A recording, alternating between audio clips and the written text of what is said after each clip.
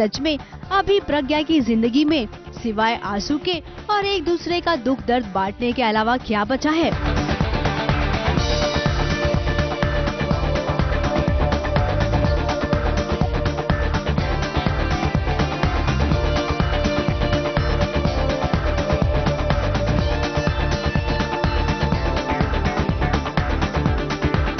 जब कभी प्रज्ञा उदास होती है तो उसे मनाने अभी आ जाता है, और कुछ ऐसा ही हाल प्रज्ञा का भी है।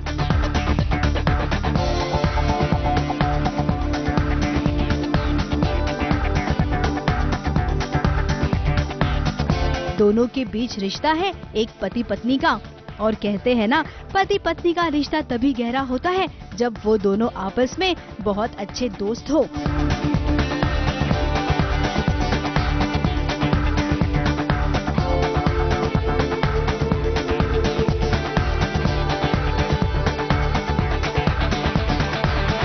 इनके बीच हल्का फुल्का रोमांस भी होता है तो नोक झोंक भी।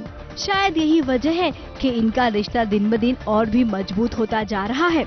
फाइनली परिवार वालों के बीच में जो भी गलत फहमी थी, वो सब दूर हो चुकी है। अब इन दोनों की सिचुएशन को देखकर लग रहा है कि इन दोनों के बीच अच्छे दिन आ ही गए। ABP news report